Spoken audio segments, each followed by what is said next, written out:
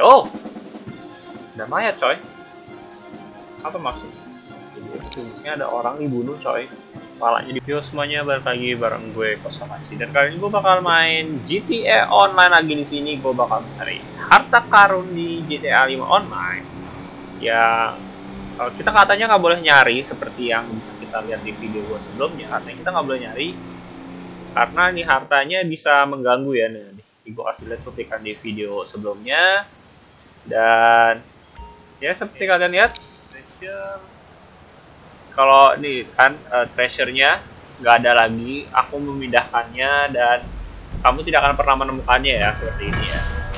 Dan ternyata ini sebenarnya kita harus nyelesain satu misi ini dalam satu session online ya. Jadi karena kemarin gua nggak kelar jadi gua mesti ulang lagi. Dan tempat uh, apa pertama kali petunjuknya itu ada 20 jenis macam-macam tempat yang berbeda dan di sini random lagi coy. Jadi kalau gue tadi tempatnya di situ nah sekarang tempatnya di sini. Dan nggak tahu kenapa di random coy. Nah, di sini dan kita bakal nyari harta karunnya di sini.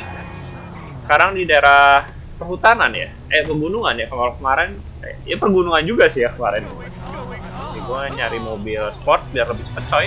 Oke. okay dan di sini gue mau udah sampai jadi jalannya di sekitar sini ya cuy ya.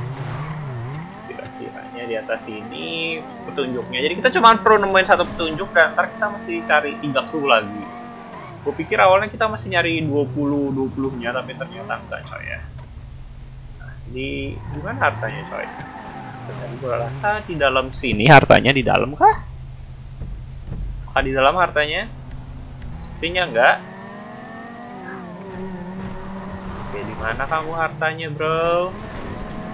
Kira kita coba masuk ke uh, pegunungan yang lebih dalam lagi. Coba di sini. Oke, di sini.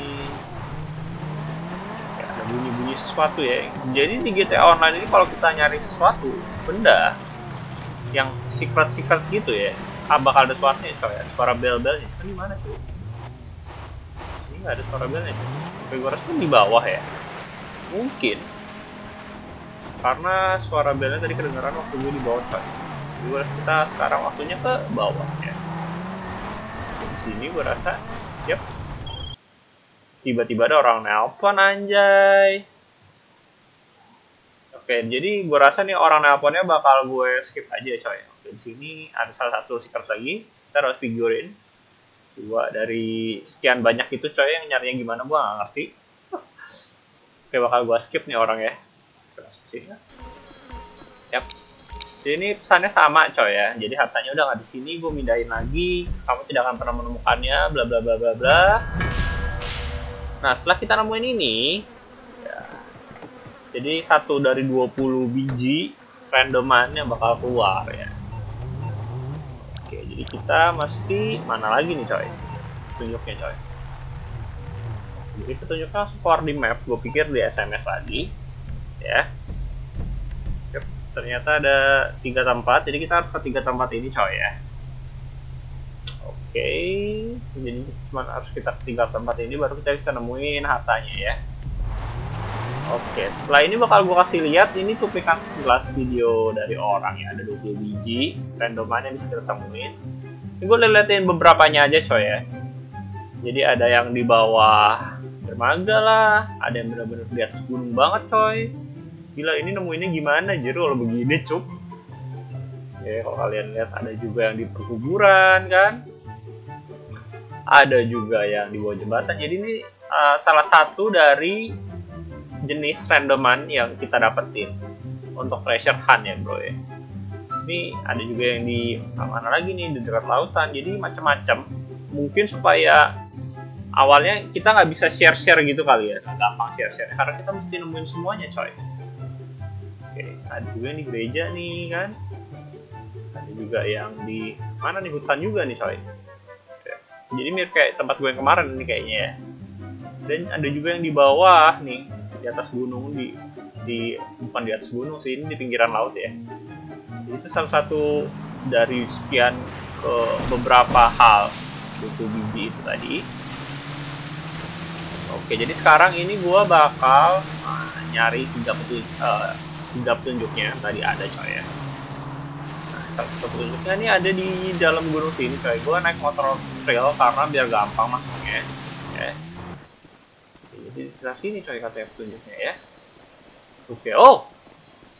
Ada mayat coy. Apa maksud? Jadi petunjuknya ada orang dibunuh coy. Kepalanya dibacok kayak itu ya oke nggak ada. Oke jadi satu dari tiga jadi gue mesti nyari dua petunjuk lagi ya. Dapetin harta karunnya gue rasa. Atau harta karunnya apa di sini cuy. Oke saatnya gue mana motor gue coy ya? Ini motor gue dulu oke nice. Jadi salah satu petunjuknya ada di dekat laut ya atau di pantai. Ada suara bel-belnya lagi berarti kita dekat sama petunjuknya coy. Yap di mana nih?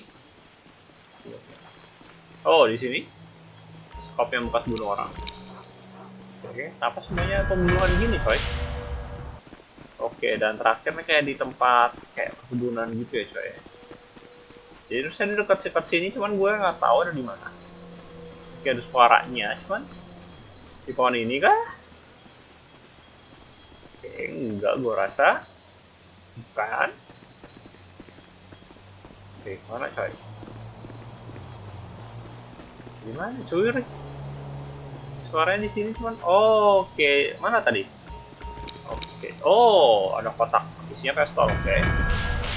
jadi gue rasa kita dapat isi pistolnya itu pak yep gue rasa kita bakal dapat isi pistol yang tersebut coy Oke, sekarang gue tinggal nunjuk petunjuknya yang terakhir. Oke, kata karun aja di mana ini? Katanya gue um, kotak harta karun coy. Kita cari kotak harta karun di mana? Di mana? Di jauh banget coy. Oke, di ujung jalan tol ini ya. Jadi kita langsung aja ke sana coy. Oke. Menuju harta karunnya coy. Let's go. ini sini dan mas sini anjir so gue salah jalan cuy. Bukan. What the hell ada orang nelpon lagi ya, ya bukan Tony Stark lo siapa jir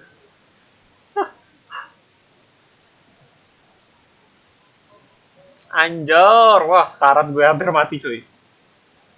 Let's go. Jadi di GTA Online ini juga banyak misi-misi kayak aneh-aneh gini ya coy ya. Iya, iya, suka-suka lucu. Oke. Okay.